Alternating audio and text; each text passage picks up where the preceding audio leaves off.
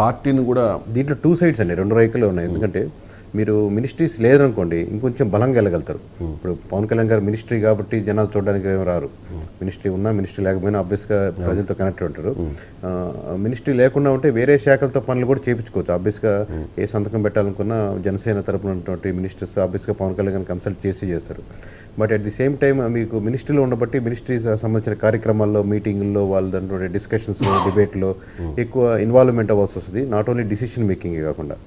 ఇప్పుడు అదొక మైనస్గా ఉంటుంది. At the same time plus ఏంటంటే యాజ్ ఎ మినిస్ట్రీగా మీరు తీసుకోవాలనుకున్న డిసిషన్లు రిజల్ట్ కానీ ఫ్రూట్స్ కానీ డైరెక్ట్గా మీకు ఆపాదించేదానికి ఇది పవన్ కళ్యాణ్ గారు తీసుకొచ్చిన పథకం డైరెక్ట్గా మీకు ఆపాదించేదానికి ప్లస్ పాయింట్ ఉంటుంది. సమీర్ సమూహం దీని రెండింటిని బ్యాలెన్స్ చేసుకుంటూ ముందుకెళ్ళాల్సి వస్తుంటుంది.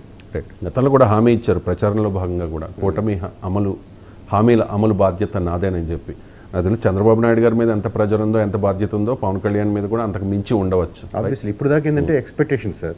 ఇప్పుడు రియాలిటీ ఇప్పుడు దాకా పవన్ కళ్యాణ్ రావాలని కోరుకునే వాళ్ళు ఇప్పుడు ఎవరైనా కానీ నాయకులు కానీ లేదా కమ్యూనిటీ హెడ్స్ కానీ ఎవరైనా కానీ లేదా సానుభూతి పరులు కానీ లేదా అతను గెలిస్తే చూడాలనుకునే మాల్ నార్మల్ పీపుల్ కానీ ఎవరికైనా కానీ ఇప్పుడు వరకు ఎక్స్పెక్టేషన్ నవ్వు ఇప్పుడు రియాలిటీ ఇప్పుడు రియాలిటీకి వచ్చినప్పుడు ఏ విధంగా పనిచేస్తారని ఆబ్వియస్గా ఎక్స్పెక్టేషన్స్కి దగ్గరగా పనిచేస్తారా దూరంగా ఉంటారనేది ఓవరాల్ రాష్ట్రం మామూలుగా కీన్ అబ్జర్వెంట్గా ఉందంటే పవన్ కళ్యాణ్ గారి మీద ఉంటుంది కంపారిటివ్ ఎందుకంటే చంద్రబాబు గారిని ఆల్రెడీ చూసారో పనితీరు గురించి తెలిసి ఉంటుంది ఎక్స్పెక్టేషన్స్ బట్ ఇది ఫస్ట్ టైం రియాలిటీకి వస్తుంది కాబట్టి more concentration more observation media కానీ అటు విమర్శించాలనుకునే వాళ్ళు కానీ సపోర్ట్ చేసేవాళ్ళు కానీ మోర్ కాన్సన్ట్రేషన్ పవన్ కళ్యాణ్ గారి మీద ఉంటుంది. రైట్ అంటే ఆయన ముందున్న సవాళ్ళు ఏంటి ప్రజెంట్ రాష్ట్ర ఆర్థిక పరిస్థితిని పరిగణలోకి తీసుకున్నా లేకపోతే ఎలాగూ ప్రతిపక్ష హోదా ఇవ్వకపోయినా వాళ్ళ నుంచి ఆల్రెడీ స్టార్ట్ అయిపోయింది కదా. జగన్మోహన్ రెడ్డి ఏమన్నారు? ఓకే రాజకీయాల్లో గెలిపోవటం సహజమే కానీ హనీమూన్ పీరియడ్ నడుస్తోంది అని చెప్పి. మీకు గడిచిన ten years vote banking compare చేసుకుంటే సార్ మేము ఆ సెక్షన్ కాబట్టి నేను comparatively I will confine to my section only okay so last time అయినా కానీ ఈసారి అయినా కానీ ప్రజలు కేవలం ఫ్రీ స్కీమ్స్ మీద కాదు డిపెండెంట్ ఏదైనా మార్పులు చేర్పులు ప్రజల జీవితంలో కంప్లీట్ చేంజెస్ వచ్చే దాని గురించి ఎక్స్పెక్ట్ చేస్తున్నామని మెజారిటీ సెక్షన్ అటు ten fifteen percent vote banking differ చేస్తున్నారు. కోర్ ఓట్ బ్యాంకింగ్ ప్రతి పార్టీకి ఉంటుంది. ఆబ్వియస్గా వెల్ఫేర్ స్కీమ్స్ కూడా సరైన ఓట్ బ్యాంకింగ్ ఉంటుంది. బట్ మెజారిటీ ఆ ten to fifteen percent shift అయ్యే ఓట్ బ్యాంకింగ్ ఏదైతే ఉందో వాళ్ళు వాళ్ళ జీవితంలో అంటే అది వాటర్ సప్లైస్ కావచ్చు మీకు రోడ్లు కావచ్చు మున్సిపాలిటీ కావచ్చు లేదా మంచి స్కూల్స్ కావచ్చు హాస్పిటల్స్ కావచ్చు కరప్షన్ లేని గవర్నమెంట్ కావచ్చు సో ఇలాంటి సెక్షన్స్లో మెజారిటీ ఎక్స్పెక్ట్ చేస్తున్నారు కాబట్టి ఇటువంటి దాంట్లో మార్పులు చేర్పులు కానీ నిజంగా చేయగలిగితే ఓట్ బ్యాంక్ ఇంకొంచెం బలోపేతం చేసుకోవచ్చు. లేదు కేవలం ఫ్రీ స్కీమ్సే మాత్రమే డిపెండ్ అయ్యి అవి మాత్రం సప్లైగా ఉంటే మటుకు అది క్రిటికల్గా ఉండబోవచ్చు. అంటే జగన్మోహన్ రెడ్డి కూడా కాన్ఫిడెంట్గా చెప్తూ ఉన్నారు మన వైపు ఫార్టీ పర్సెంట్ ఉన్నారు హండ్రెడ్ పర్సెంట్ కరెక్ట్ అండి. ఎందుకంటే ఇప్పుడు ఎక్కువ మంది చూసేది అబ్జర్వేషన్ ఏంటంటే భూస్థాపితం అయిపోయింది వైఎస్ఆర్సీపీ ఏమీ లేదని. లాస్ట్ టైం టీడీపీ కూడా సేమ్ ఇదే కమెంట్స్ ఎదుర్కొంది. ట్వంటీ త్రీ సీట్స్ వచ్చాయి. ఎనీ పార్టీకి ఒక హండ్రెడ్లో ఫార్టీ పర్సెంట్ అంటే మీరు పదకొండు మంది సీట్లు చూస్తున్నారు. పదకొండు మంది ఈ రోజు ఉండొచ్చు రేపు ఉండకపోవచ్చు కూడా. బట్ పీపుల్ మీ వెనకాల ఇంత క్లిష్టకాలంలో కూడా అవతల కూటమి కట్టినా కానీ forty percent people supported you. మీరు చూడాల్సింది దాన్ని సో మంచి ప్రధాన ప్రతిపక్ష టెక్నికల్గా లేకపోయినా కానీ మీరు రెస్పాన్సిబుల్గా ఉండి క్రిస్టల్ క్లియర్గా మీరు ఎక్కడైతే మిస్టేక్స్ చేసామో అవి యాక్సెప్ట్ చేస్తూ ఇవే సేమ్ మిస్టేక్స్ ఇవే కంటిన్యూ అవుతున్నాయని కానీ మీరు ప్రొజెక్ట్ చేసుకోగలిగితే వాళ్ళకు కూడా బలోపేతమైనదానికి హండ్రెడ్ పర్సెంట్ ఆస్కారం ఉంటుంది. రెండు వేల పద్నాలుగులో రాష్ట్రం కొత్తగా ఏర్పాటైన తర్వాత చాలా బాధ్యత ఉంది చంద్రబాబు నాయుడు మీద.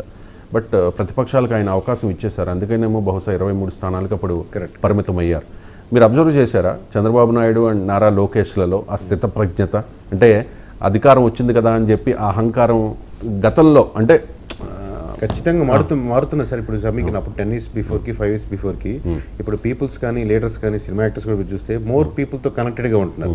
ఇంతకుముందు చూసిన వాళ్ళు కలిసిన వాళ్ళు పెద్ద హీరోలు ఉండరు.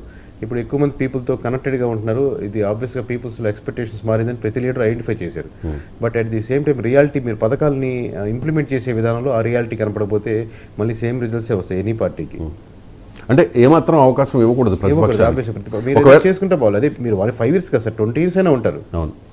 అంటే చాలా ప్లాన్డ్గా వెళ్తున్నట్టుగా అర్థమవుతుంది ఈసారి పవన్ కళ్యాణ్ గారికి ఇచ్చిన శాఖలు అవ్వచ్చు లేకపోతే వీళ్ళు చేస్తున్న ఆల్రెడీ ముఖ్యమంత్రిగా ప్రమాణ స్వీకారం చేయక ముందే వర్క్ స్టార్ట్ చేసేసారు చంద్రబాబు నాయుడు గారు అమరావతిలో మీకు డే వన్ నుంచి అబ్జర్వ్ చేస్తారు సార్. చాలా మంది అడిగాను మమ్మల్ని క్వశ్చన్ ఏంటంటే ఏది ఓట్ బ్యాంకింగ్ ప్రధానంగా దెబ్బతీసింది ఎక్కడ ట్రాన్స్ఫర్ అయిందంటే ఏదో ఒక ఇన్సిడెంట్ అరెస్ట్ లేకపోతే ఇంకా రాజధాని ఒక ఒక ఇన్సిడెంట్ మీద ఉండదు.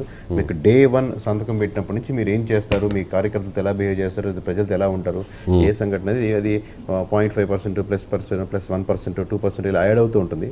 ఫైనల్గా మన కన్సల్టేషన్ వచ్చినప్పుడు మనం జనాలు రిజల్ట్ చెప్తారు. వేవ్ ఒక రకంగా ఉంది ఇలా ఉందని. కానీ ఆ వేవ్ అనేది మొత్తం ప్లస్ ప్లస్ కలుపుకుంటూ వచ్చిన వేవ్ ఓవరాల్గా ఎనీ పార్టీకి సో డే వన్ నుంచే మొదలవుతుంది. మీరు ఎలా స్టెప్స్ తీసుకుంటారు అనేది రెండు వేల ఇరవై నాలుగు ఎన్నికల్లో ఈ ఫలితాలని చూసినా ఎన్నికల్ని చూసినా ఎప్పుడూ సాధ్యం కాని కొన్ని విషయాలు జరిగాయి. దాంతో మీరు ఏకీభవిస్తారు లేదో నేను నోటీస్ చేసినవి. పర్టికులర్గా ఆంధ్రప్రదేశ్లో రెండు సామాజిక వర్గాల మధ్య కోల్డ్ వార్ నడిచేది. ఒకనొక టైంలో రంగా గారి టైంలో. నిజంగా యుద్ధం జరిగేది. ఆ తర్వాత కోల్డ్ వార్ ఆధిపత్య పోరు చాలా ఏరియాస్లో. కానీ అలాంటి రెండు కీలకమైన సామాజిక వర్గాల్ని కలిపి కలిపిన వ్యక్తిగా మన మనం పవన్ కళ్యాణ్ చూడాలా? మోస్ట్లీ యాక్సెప్ట్ చేస్తాను సార్. ఎందుకంటే ఆబ్వియస్గా టెక్నికల్ మీకు కనపడ నాట్ ఓన్లీ క్యాస్ట్ ఈక్వేషన్స్ మిగతా ఈక్వేషన్స్ ఉన్నప్పటికీ మీరు ఓన్లీ క్యాస్ట్ ఈక్వేషన్స్ బేస్డ్ అడుగుతున్నారు కాబట్టి ఆబ్వియస్గా టెక్నికల్ చూసుకుంటే ఇప్పుడు గోదావరి జిల్లాలో బలంగా కాపులు ఆబ్వియస్గా సపోర్ట్ చేయగలిగారు. ఫస్ట్ మాకు సెవెంటీ థర్టీ కనపడ్డా తర్వాత అది సెవెంటీ ఫైవ్ ట్వంటీ ఫైవ్ నుంచి ఎయిటీ ట్వంటీ కానించి చివరికి నైంటీ ఫైవ్ పర్సెంటేజ్ వరకు ఓట్ ట్రాన్స్ఫర్ ఇలా జరిగింది. అలాగే మీకు కృష్ణా గుంటూరు జిల్లాలో అబ్జర్వ్ చేస్తే మేము అబ్జర్వ్ చేసిన డేటాకి at the same time ninety five percent vote banking రెండు కమ్యూనిటీలకి బాగా ఓట్ ట్రాన్స్ఫర్ అయింది. మీకు చాలామంది ఒక అపోహ చెప్పేది ఏంటంటే జనసేన గురించి ఒకే గోదావరి జిల్లాలో మాత్రమే ఉంటుంది ఓవరాల్గా అనేది ఒకటి ఫ్యాక్టరీ చెప్తా ఉంటారు. బట్ మీకు జనసేన సపోర్ట్ లేకుండా ఉండేటువంటి ఒక్క విలేజ్ కూడా ఉండదు రాష్ట్రం మొత్తం మీరు అబ్జర్వ్ చేస్తే రాష్ట్ర వ్యాప్తంగా. కొన్ని విలేజ్లో వన్ పర్సెంట్ టూ పర్సెంట్ ఉండొచ్చు కొన్ని విలేజ్లో థర్టీ పర్సెంట్ ఫార్టీ పర్సెంట్ ఉండొచ్చు. That doesn't mean that one two percent మనం కన్సిడర్ చేయాల్సిన అవసరం లేదు అనేది ఏం లేదు. ఎందుకంటే ఆ వన్ ఆర్ టూ పర్సెంట్ కూడా మీకు ఆ సపోర్ట్ వల్ల చాలా విధంగా ముందుకెళ్ళేదానికి ఆస్కారం ఉంటుంది. రైట్ అంటే పర్టికులర్గా ఈ అంటే కుల ప్రస్తావన లేని రాజకీయం ఆంధ్రప్రదేశ్లో సహజం కాదు. మీకు తెలంగాణలో కుల ప్రస్తావన రెండు అంతా కరెక్ట్ ఉన్నది కానీ కరెక్ట్ కరెక్ట్. రెండు కరెక్ట్. ఇప్పుడు కులమే ప్రధానం అనడం కరెక్ట్ కాదు. కుల ప్రస్తావన అసలు తీసేయచ్చు అనేది కరెక్ట్ కాదు. కుల ప్రస్తావన ఆంధ్రప్రదేశ్ రాజకీయాల్లో ఎక్కువగా మనం గమనిస్తూ ఉంటాం. దశాబ్దాలుగా కాపులకు ఒక కోరిక ఉంది. రాజ్యాధికారం అని చెప్పి. అంటే రాజ్యాధికారానికి మించిన హోదాని ఇప్పుడు పవన్ కళ్యాణ్ తెచ్చిపెట్టలేదా ఆ సామాజిక వర్గానికి? అదే సార్ ఇప్పుడు రియాలిటీ చూపిస్తుంది. ఇప్పుడు మామూలుగా ఏం చేశారనేది జస్ట్ ఓన్లీ ఏంటంటే సిగ్నేచర్ డెసిగ్నేషన్ కాదు. ఇప్పుడు దా సిటీ పొజిషన్లో ఉన్నాక ఎటువంటి కార్యక్రమాలు చేశారు? అవి దాదాపుగా నెక్స్ట్ తరాలు కూడా గుర్తుపెట్టుకున్నది ఈ కార్యక్రమం ఆయన చేశారు అని మనకు పాత లీడర్ గురించి చెప్తా చెప్పుకుంటా ఉంటాం కదా. ఇప్పటికీ చాలా స్కీమ్స్ మన రామారావు గురించి మాట్లాడినప్పుడు లేకపోతే రాజశేఖర రెడ్డి గారి గురించి మాట్లాడుతున్నప్పుడు ఇన్ని పది సంవత్సరాలు ఇరవై సంవత్సరాలు ముప్పై సంవత్సరాల తర్వాత కూడా కొన్ని స్కీమ్స్ స్కీమ్స్ గురించి డిస్కస్ చేసుకుంటూ ఉంటాం. So at the same time మనకు ఇప్- ఇది ఇప్పుడు తీసుకునే డిసిషన్స్ దాదాపు ముప్పై ఏళ్ళ పాటు నలభై ఏళ్ళ పాటు ప్రతిబింబించేలాగా తీసుకుంటే ఆ విధంగా అది ఆబ్వియస్గా అందరికి బెనిఫిట్ అవుతుంది ఆబ్వియస్గా ప్రతి కమ్యూనిటీ ఆ లీడర్ని ఆ కమ్యూనిటీ లీడర్ ఓన్ చేసుకోవడంలో అది ఫేవరింగ్గా ఉంటుంది. రైట్ రెండు వేల పద్నాలుగు ఎన్నికల హామీల్లో చాలా ఉన్నాయి. ఆ హామీల్ని అప్పుడు చంద్రబాబు నాయుడు గారు ప్రభుత్వం అమలు చేయలేదు.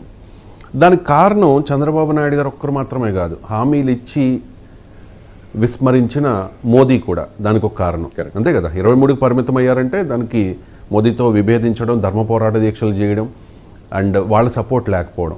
తిరుమల వెంకన్న సాక్షిగా అంత పెద్ద హామీ ఇచ్చి కూడా ఆయన వదిలేయడం మోదీ. కానీ ఇప్పుడు కేంద్రంలో కీలకంగా ఉంది. పవన్ కళ్యాణ్ తీసుకున్న ఒక్క నిర్ణయం కూటమి జత కట్టాలి అన్న ఒక్క నిర్ణయమే ఈ రోజున ప్రధాని మోదీ హ్యాపీగా అక్కడ I mean Modi third time.